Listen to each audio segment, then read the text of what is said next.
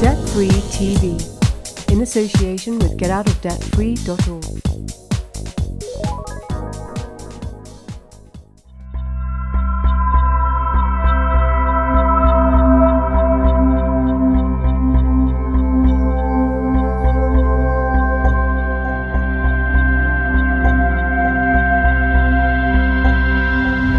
Great, lovely to speak to you all today. Thank you for coming.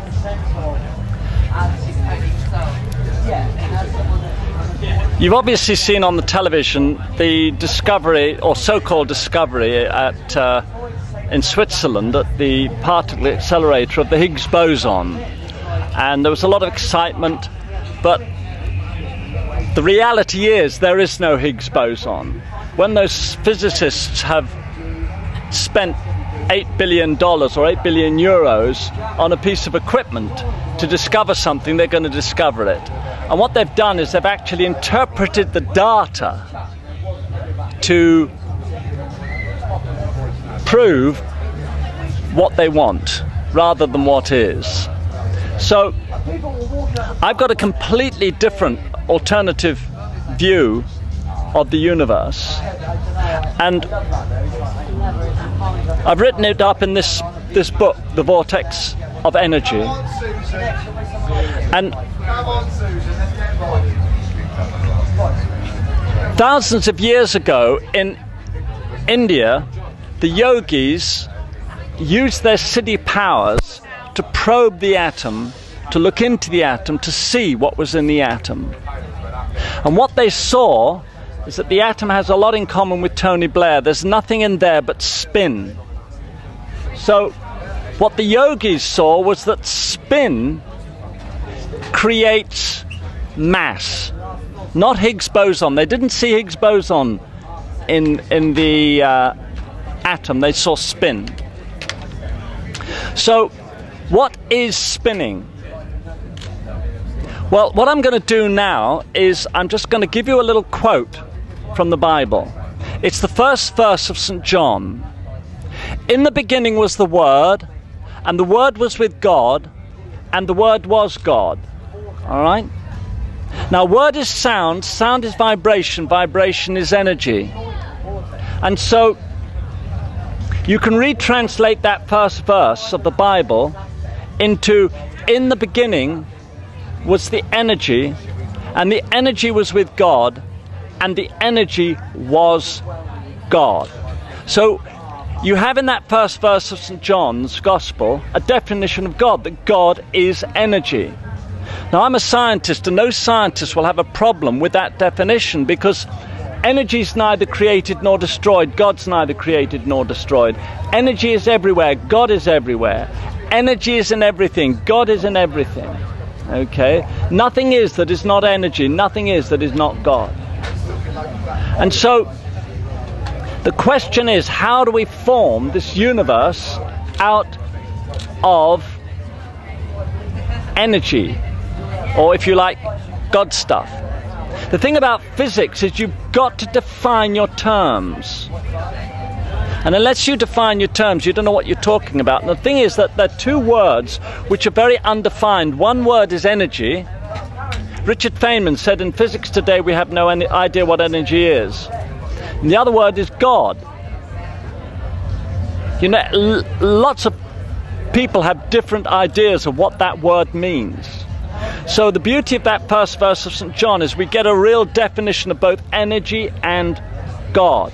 That you're talking about word, you're talking about sound, you're talking about vibration, you're talking about light, you're talking about frequency. It's like this, they're saying that everything is frequency, everything is vibration. But that's just one form of energy, which is frequency, vibration, the waveform. The other form of energy which the yogis saw was spin, the vortex. And so what I'm I've realized that there are two forms of energy. One form is the waveform and the other form is the vortex. And what this is, this is the ball of wool, and the ball of wool is a perfect model for the vortex. It's a subatomic whirlpool of light. And so it allows energy to stand still. It creates a form of energy that spreads in three dimensions. So this explains the three dimensional extension of matter. Okay? Mass is created by spin, the stay put inertia of matter. It's like there's a gyroscope in here, but the gyroscope is in every direction. So it, the spin of the gyroscope resists movement in any direction. So this inertia, this resistance to movement, comes from spin. So we can explain all the properties of matter in terms of spin. So what we've got is we've got two forms of energy. One is the waveform, which is frequency and vibration. The other is the vortex form, which is mass. And if you go back to John's verse, and we go back to this word word, the thing about word is that you can have the spoken word, which transmits information, which is like the wave form, and you can have the written word, which is a memory. It's a store of the information, which is the vortex form. So that's the beauty of John's definition. He actually is describing there two forms of energy. There's the memory, and then there's the transmission of information. There's the spoken word, and there's the written word. And the thing about St. John is he was a mystic. And the thing about those yogic philosophies in India is that they were mystics. And Paul Rowland says, you know, mysticism is the origin of true science. So it's bringing together mysticism and science, science. This is what we're this is what we're endeavoring to achieve. And it's just so, so simple. We don't need particle accelerators. I mean, billions are spent on these particle accelerators when the yogis did it for nothing, just using their mystic powers. And discovered exactly how the universe is formed. So, the question is where does this energy finish? Just take that away. Where does the energy finish? How big is the vortex? Well, if you imagine this is like a balloon and you keep blowing it up so it gets bigger and bigger and bigger, the rubber never disappears, it just gets thinner. So imagine you have this magic balloon which just never bursts. It would just get larger and larger and larger. And this is what the vortex of energy is. It just extends into infinity. So every vortex is as big as the universe, every electron is as big as the universe. So mass, matter is the dense center of the vortex that we perceive. Space is the extension of the vortex into infinity. So now we understand what space is. So the vortex explains mass, it explains inertia, it explains extension into three dimensions. The vortex explains this corpuscular shape of the subatomic particles in the atom, the electrons, the protons, the neutrons. Because it's the subatomic particles we're talking about. Okay? And now we also understand space. When Einstein went to New York in 1919, just after he'd been proclaimed the most celebrated scientist in the world, Someone asked him, a reporter asked him, Albert Einstein, can you put your theory of relativity in a single sentence? And Einstein said, yes. If you remove matter, you also remove space and time. So when you move matter, you move space and time. So he's inferring there's a, a connection between matter and space and time. And we've got it. The, the vortex is, is matter, it is space, it is time. And because all vortices overlap with all other vortices, and vortices are dynamic, when they overlap, they interact. And this explains action at a distance, electric charge and magnetism. So, this one model is explaining everything in physics. It's incredibly simple. What explains the expansion rate? Sorry? Does, what, what's causing the expansion? Well, what it is is this that it's a bit like the water cycle. The the energy, the water evaporates off the ocean, forms the clouds, falls as rain,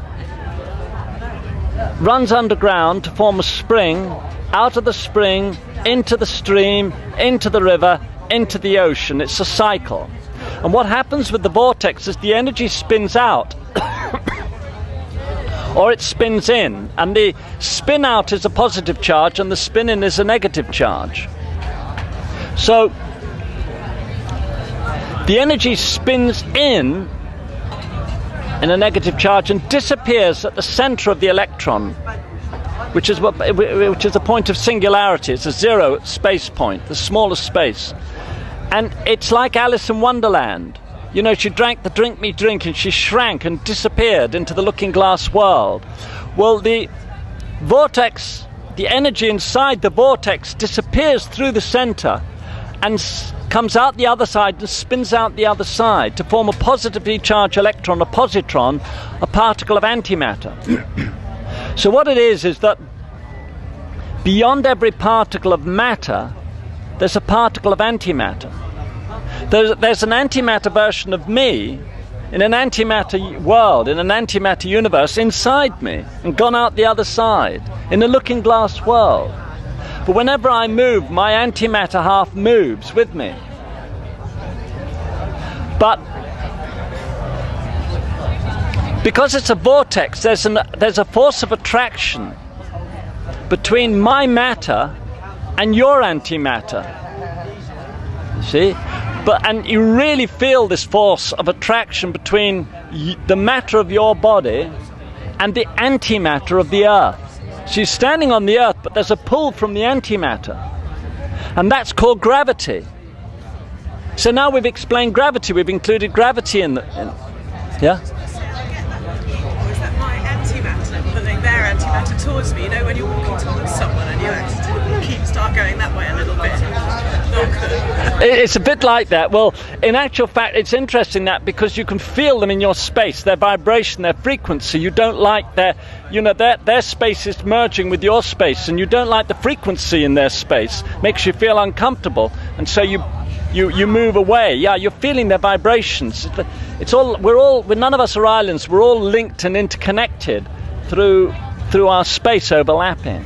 You see, and the thing is that if you take a positive charge where the energy is expanding out, well, all my vortex energy and all the particles of my body is expanding out, and then it joins up with yours, and then it joins up with the positive charges of the Earth, and then the solar system, and then the galaxy, and then the super galaxy, and it goes on and on and on until all the vortex energy from all the positive charges in the in our universe of matter get to a maximum sphere of space. And what then? Well, it goes in. Because beyond the maximum space out there, if you go out and out and out, where does the universe end? It ends in the largest sphere of space for matter, which is also the largest sphere of space for antimatter.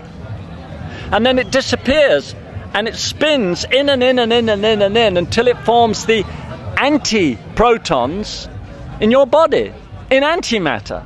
And it goes shooting through the center and then comes out as, as matter. So it's like negatively charged protons and then through the center into the positively charged protons in your body. So there's this perfect symmetry. Now, between matter and antimatter, there's a force of attraction. Therefore, the further the galaxies are away from us, the faster they should be accelerating from us because of the pull between the galaxies of antimatter and the galaxies of matter. And therefore, the universe, the expansion, the universe expansion sh- should be accelerating. And I predicted that in 1995 in a book that was published in London. And so it's a, a written, published publication of that prediction. And in 1998, it was discovered.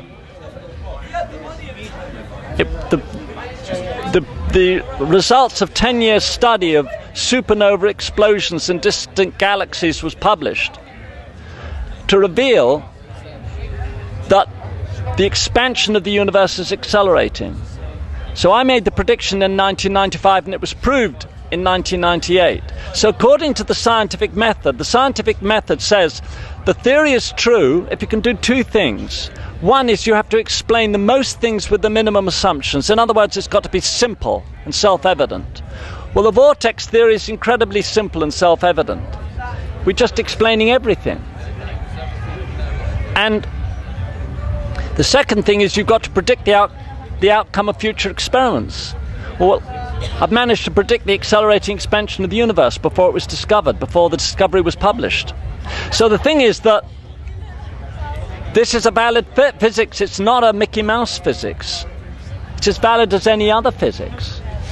And it's our physics, it belongs, you know, here we are at Boomtown, and this is our own physics. We've got our own boomtown physics, if you see what I mean. This is the physics of the festy scene, the physics of the hippies, the physics of the mystics, the physics of the new age people, the physics of the alternative mob. We've got our own physics, and it's a good physics, it's a solid physics. Yeah? I, are you going to talk, talk about the mystical? About? The, the mystical. Yeah, I'm going to go on to that right away. But I would like to just say one thing about Higgs boson. How do we explain what they're doing in the particle accelerator? Well, at CERN, they've built an 8 billion euro or dollar donut making machine. Actually, this ball of wool looks more like a donut than a ball of wool, which is perfect for this model. What they do is they shoot the energy through the vortex, and the energy takes on the shape of the vortex and then comes out the other side as a vortex, but it doesn't last long. The thing about all these particles that they're discovering in the accelerators is they're incredibly short lived because they're just transitional vortices. It's like if you push batter through a donut making machine, you get the shape of the donut, but it doesn't last unless you drop it into oil. Well, imagine if you just drop it on the floor, it goes into a mess of batter again. So it's exactly the same. You're pushing the energy through the vortex and you get the vortex shape. And then they interpret those transitional vortices and call them all sorts of things like quarks. They've got a quark theory, which means nonsense. And and so the thing is that we've got an alternative theory which which basically challenges the, the existing theory. And it's much simpler, it's much more elegant, and basically I've more or less covered the whole physics now. And how many people here have PhDs in physics? You do. Great. We've got one PhD in physics. I bet that doesn't happen very often. No, that doesn't happen. That's a first. That's a first. I've been caught out here. Well, all right, you qualify. Everyone else should leave. Only he should be here on this talk. No, the thing is, most people don't come up with PhDs in physics. I mean, most people haven't even got GCEs, GCSEs in physics. And the great thing is, anyone can understand this. And that, that's that's really what. Uh, what in his in his book, The Brief History of Time, Richard Dawkins was saying that if ever we do find a complete theory, it should not be understandable by everyone, not just a few scientists and technicians. Um, because then we've you know we've all got a right to understand who we are, where we come from, and you know the meaning of our lives. And so that's where I want to go to. He said that for them we, we would know the mind of God. Well, I just want to sort of deal with that last statement, the mind of God, because God doesn't have a mind. The idea that there's a God with a mind is no different from the idea of an atom that moves. You know, God creates, the atom moves. In other words, something exists and acts. Both those ideas are materialism. The, the idea of materialism is you assume the existence of something which then acts or moves. It doesn't matter what you call that something, whether you call it an atom or a god, those are just words. It's the underlying concept of materialism that's wrong. And Einstein challenged that idea because he said the sole universal constant is the speed of light. He said mass, space, and time are relative to the speed of light. You see? In other words, the speed exists, and there's nothing speeding. We've explained it away with the vortex. And back to John the Divine, he said, God is the Word. And what is Word? It's pure energy. What is energy? That's the key thing. Richard Feynman said it's important to understand. In physics today, we have no idea what energy is. We've got to nail energy, pin energy down. Energy is pure movement, particles of movement, not particles that move. That's what our universe is made of. You see. And the thing is, the speed of those particles happens to be in our world the speed of light. That's why the speed of light is the constant in our world. So, what are these particles? If you've got movement where nothing exists that moves, it's more abstract than concrete reality. It's more, particles of energy are more like thoughts than things. So, it's not that the universe is the mind of God, God is the mind that the universe is. Do you get the thing? The universe is a mind because a body of thought is a mind. And the universe is a body of thought, it's a body of energy. If we say energy is mind, energy is thought, then the universe as a body of thought is a mind. And so that mind that we call universe is God. So the, the bedrock of reality, the bedrock of reality is not material substance or the or God or anything. The bedrock of reality is consciousness. And this is where quantum physics is today. The leading quantum physicists recognize that the bedrock of reality is consciousness. And it comes from the Copenhagen interpretation of quantum reality that things only exist to the extent that they're observed. So, underlying every particle is an observer. But whereas the particles are all many, there, there are countless particles of energy, the consciousness underlying them all is one. Consciousness is one and it's indivisible. So the thing is that I'm conscious and you're conscious, but the consciousness behind my eyes, behind my ears, the consciousness that's seeing you, that's hearing the same sounds that you're hearing through your ears is one. We're all the one being in the many bodies. We're the one consciousness. This idea of being separate is a complete illusion. I mean, I am the universal consciousness in a male body called David Ash, okay, father of nine children and grandfather of ten, more wives and children than common sense. Now, you are, no, yeah, I'll have a drink. You are that same consciousness in a female body. Okay, and you're having a different experience to me. It's diff- you know, men are from Mars, women are from Venus. It's different being a woman. So it's a chance for consciousness to have a different different experience. Okay, and and but and so that's we're the, the we're the, the the one in the many, the the one being in the many bodies. So you know we we may have got this idea, we may have bought the idea that Jesus Christ is God made man. Well, guess what, folks? So are you. There isn't a person alive, male or female, who isn't God made man. That's what our name means. Hu means God in ancient Egyptian or divine. The divine man, the divine woman, the, the God man being. This is why Hermes called us human beings. You know, Sai Baba was asked, Are you God? He said, Yes, I am, but so are you. He said, The only difference is I know it and you don't. So wake up, folks. You're God. You can do anything. The only reason why we're limited is we limit ourselves. You know, in this book called The Course of Miracles, I'll just take a wee drink and hand it back. Which the author claims was um, dictated to her by Christ. Now, what whoever the, the source of that book is, and it's more exciting if it is Christ than if it isn't. You know, we won't get arguing about that one, but because he says something very heretical. In the, in the Course of Miracles, Jesus Christ said, God did not create this world. God, God didn't create life. God didn't, didn't create you. You created this world. You created this life. You created you.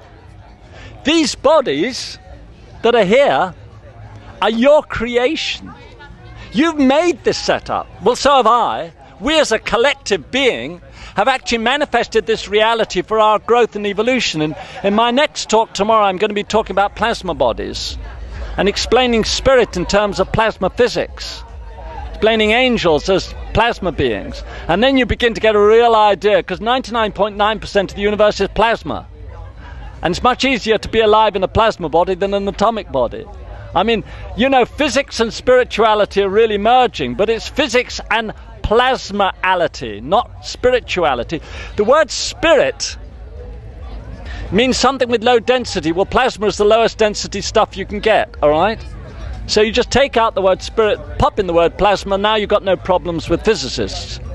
simple, simple stuff. We just got to change the language. So it's very exciting to wake up and realize we're God. All of us, without exception. But so is the lowly worm. So is the blade of grass. And if you think you're almighty because you're God, well, check this out. So is the electron. Because the electron is a form of energy. And in the beginning was the Word, the Word was with God, the Word was God. Energy is God. Nothing is that is not God.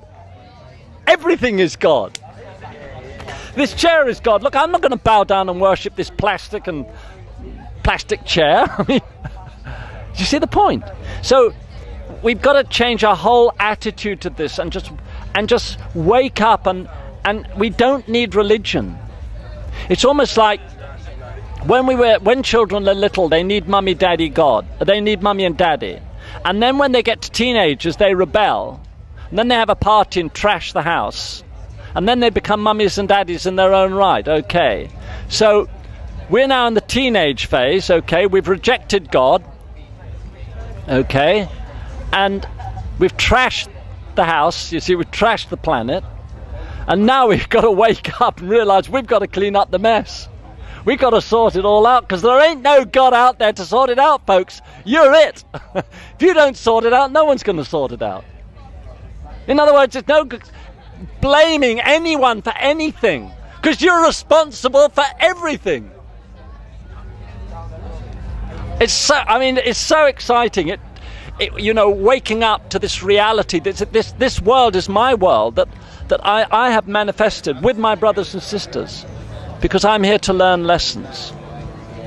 So, what I want to talk a little bit about now is the ascension and also the higher dimensions. I believe that the speed of light is not uniform throughout the universe. I actually, actually believe myself that the speed of light is a feature of a star.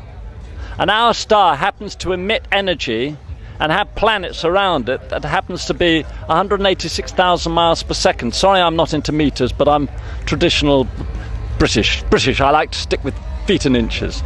186,000 mi- miles per second, and that's the speed of the energy in our world. But it could be in other worlds, the speed of energy is different. It could be the speed of energy is faster. Now, that is a prediction. And I believe it's possible to go beyond the speed of light. And what I predict are two laws, I call them the cosmic laws, that govern the relationship between worlds based on physical light and worlds based on super light or super energy. Okay. The first law is the law of subsets. All speeds start at zero and go up to their maximum value. So 0 to 30 miles an hour is part of 0 to 60 miles an hour, is part of 0 to 100 miles an hour. So this, the worlds based upon slower speeds are part of the worlds based upon faster speeds. So our world is a subset of the next world, which is a subset of the world, next world beyond. And notice that with my hands, this is the world we live in based on the speed of light. That's the world based on twice the speed of light. And actually, the next step out is 16 times the speed of light because it's like the Fibonacci series, it's like the, the golden mean. It goes like that. Okay? So, the thing is that so our world could be part of a greater world of of of, of super energy. Okay, you got the first law. And the second law is in my physics, I show that space and time are a feature of the vortex and the wave. They're created by the vortex and created by the wave. In other words, the passage of time from past, present to future is a feature of the unidirection movement of energy. Energy just goes in one, it moves in one direction. And that creates that feature of time. Okay? And so there's no space time separation between these different worlds of energy and super energy because space and time belongs in each world, not between the worlds. The separation between the worlds is speed. So if there are these other worlds, they're all around us and interpenetrating our world, but we're not aware of them because they're moving too fast, or the speed of their energy is too fast. So that's the second law, which is the law of simultaneous existence. They're all existing simultaneously. Okay. So the interesting thing about this model that I'm building up, if you look at my hands, you see concentric spheres. And I'm bringing back the theory of the planes. I'm a great follower of Hermes because the word Hermes means movement. And Hermes said that everything is based on movement. And he also spoke about the planes. Uh, the word planet comes from the word planes, that energy is divided into these levels, and they're organized in concentric spheres, the harmony of the spheres.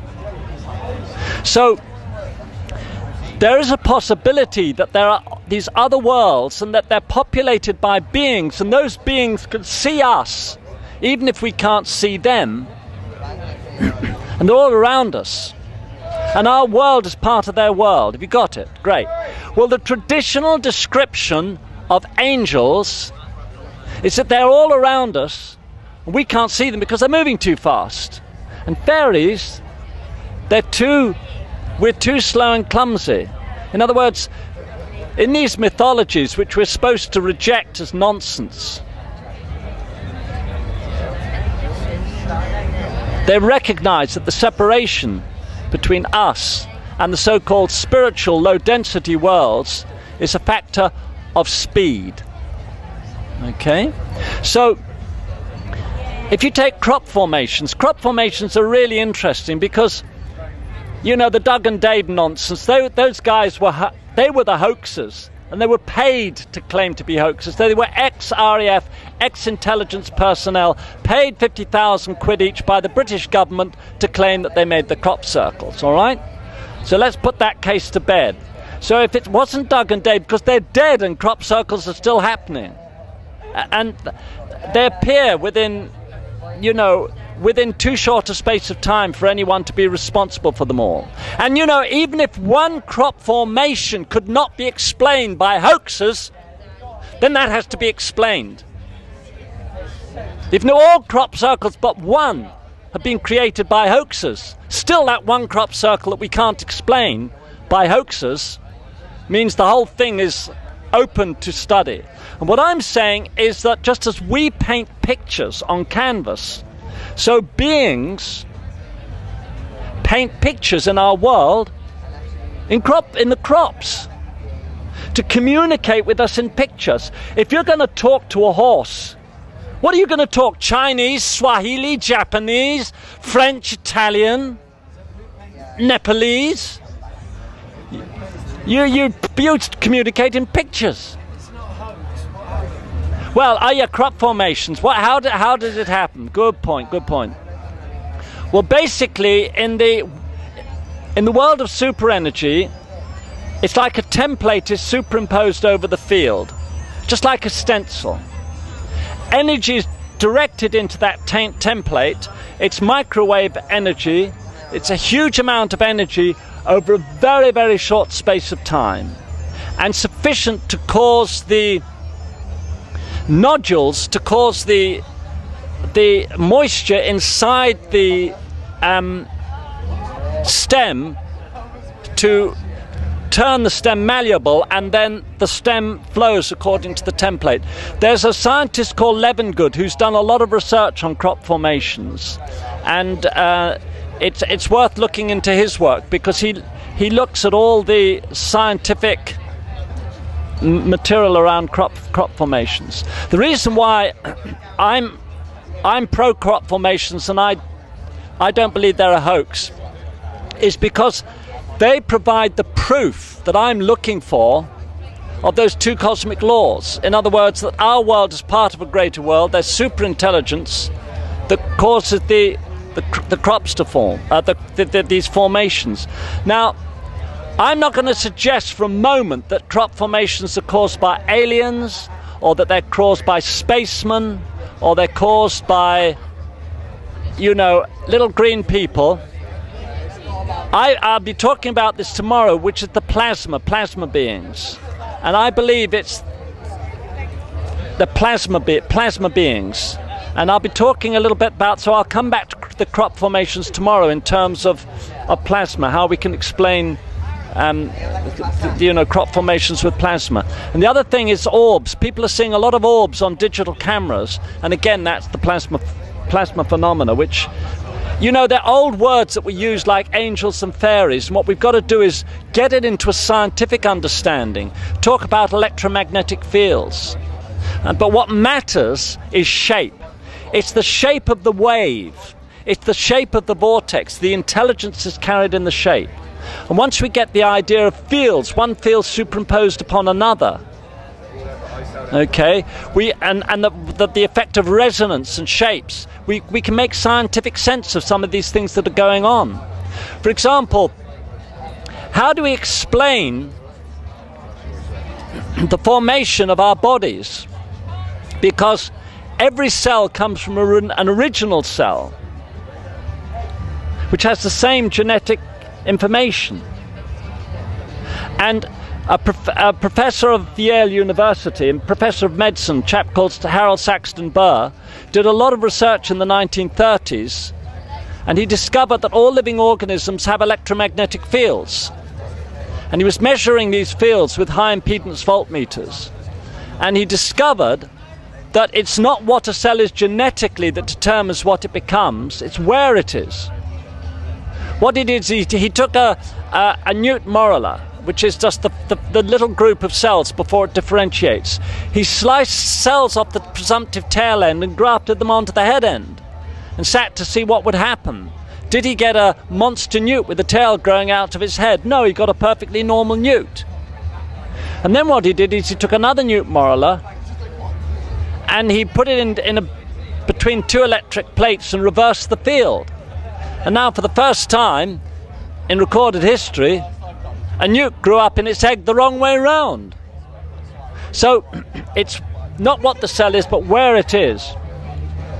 And again, the idea is that you have a super energy field overlapping your body, which is allowed by the law of simultaneous existence.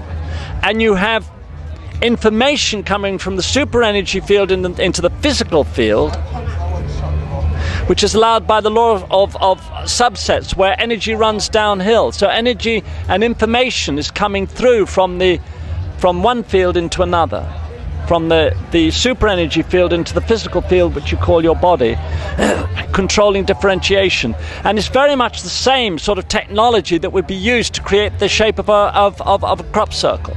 It's the same basic physics. The same physics of of resonance, of, of using a, a, superimposing a field on a body of matter and getting information, getting frequency information into it. It's the same way you're creating a crop circle, which the, the chap over there asked about. How do you f- create a crop circle? It's exactly the same technology or, or, or science or physics, if you like, as the field. You, you, you need to re- read Lynne McTaggart's book on the field or um, uh, the, the, work of Harold Saxton Burr on the life field. So basically, what we're doing is beginning to reinterpret a lot of this, these ancient ideas into modern language. And then, oh, yes, please. Thank you very much. I shouldn't be eating sweets in the um, lesson. I know teacher won't approve of this, but seeing as one has been offered to me, I think I'll just keep the sweet until I finish my talk. I shouldn't even eat it. I'm a nutritionist, so I shouldn't be eating sugar. So I'm going to get caught out on YouTube now. So the thing is that I want to just finish my talk. Thank you. We've been showered with sweets here. Um, there's a lot of talk about ascension.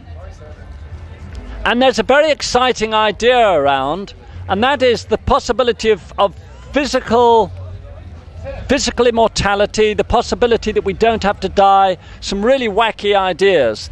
That there's talk about planetary ascension. But I've got this, this idea which I'd like to share with you. What if we could accelerate the speed of the energy in every subatomic vortex beyond the speed of light? Your body would be the same. there would be no change in the frequency of vibration because increasing frequency of vibration is how microwaves work. We don't want to cook you. but if you if we change the relativity constant, so it's no longer the speed of light, but 16 times the speed of light, then you will find yourself in the super energy reality. In a, uh, find yourself on a planet or in a, in, a, in a body of matter in which the speed of the energy is all based upon 16 times the speed of light. So, how is this possible? Well, it's very simple, and that is you can superimpose a teleportation beam in super energy over a physical body and then switch on the power and as soon as the physical body is in that field of super, superphysical energy then by resonance, the speed of the energy will accelerate in all the particles and disappear out of space time. You know, beam me up, Scotty. I mean, it's, it was like it's, a lot of these television programs have been educating us into the possibility. It's like uh, Tolkien's Lord of the Rings, you know, Bilbo and Frodo putting on the ring and, and, and vanishing and becoming invisible. Because that's what happened when you change the speed of the energy, light no longer reflects off it, and it, you no longer interact with it in terms of charge. so you don't feel it and you don't see it. So it's intangible and invisible. So again, we've got a physics that is predicting the, uh, uh, the, the ascension. At the moment, it's just theory. But I tell you this if this planet went through ascension, and you woke up one morning to find yourself in a different situation, in a different world, you would need this physics to explain and understand what's going on. So you never know. Its time may come. So thank you very much indeed. Anyone got any questions? I've one, but it's a bit what? Can I ask it anyway? Yes, do, do. Well, it just came to my mind, I thinking, why do you need to explain it all? I mean, because the mystical approach is just to say it is. I love, I love that. Yes. I, I, love the science. Now, if I can repeat that question for the sake of camera. This lady has said, Why do we need to explain it all? Well, that's typical of a lady because ladies are a right brain and we blokes are left brained. And women feel things and intuit things. I think the reason we need to explain it is because of the blokes. There are a lot of people on. There are a lot of blokes. There are, oh, listen to the language. No, there, there, there, there, you know, there's schools that are teaching science. There, there are people out there that, if we can make sense of this scientifically, it becomes much more intelligible for humanity. You see, we do have minds. I mean, I was taught to stop the mind and just meditate, you know, and don't listen to your mind and all that sort of stuff. But the trouble is, try to stop listening to your mind. it's very difficult. So we need to satisfy the mind. And if the mind isn't satisfied, and also Buddha said that uh, right understanding is part of enlightenment. And look, if we can get the whole thing over and done with, done and dusted inside an hour, because we've only got an hour before this tape runs out, so if we can explain the whole universe in an hour, we've got the rest of our lives to stop thinking about it and just get on with feeling it and experiencing it. Go find the reggae. Yay! Great, thank you very much. Any more points or questions? Curious about your book. Do you have a mathematical basis? Uh, well, what we've got in the book is I avoid maths like the plague because the only equation that's acceptable to general readership is um, E equals mc squared. Uh, for every equation, you lose 75% of your readership. So future generations can develop the math of this, and there are people who are working on the math, but what I'm doing is trying to present this to ordinary people. And uh, but I've, I've got the book in two sections. I've got the first section, which is the general idea, and the second section, which is basically um, more technical information for, for people who are in, in, in physicists. Okay, any more points? I'm, I'm fascinated by vortices. Yes. you see them on every scale. The, the water down the black hole Yeah. to galaxies. Yeah. Um, they're everywhere. To me that it's a very stable organisation. It, it is very stable. The thing about the Incredibly stable about that force. yeah, the the thing about the, these vortices, and it's interesting, like elementals are seen by people with uh, psychic abilities as vortices, and they hold a presence, they hold a shape, they hold a form. They're like memory. They're very very stable. Whereas light is very transitory. You know, the waveform is come and gone. You, you, you, see, so they, they, they, these two basic basic forms, and vortices are everywhere. Um, most of the vortices we're used to are conical vortices or toroidal vortices, but it's interesting when we get the spherical vortex, which is the ball of wool, and um, it's it, you know what, what we need to do is look at all the different types of vortices. The spherical vortex, vortex has an axis of spin, but because it's changing all the time, you can't measure it. So it has no poles, not because it doesn't have poles, but because they're changing so quickly, you, you, you, you're not aware of it. Okay. So I think we'll close down there. Thank you very much for your attention and have a good day. Thank you. I'm going to eat my sweet now.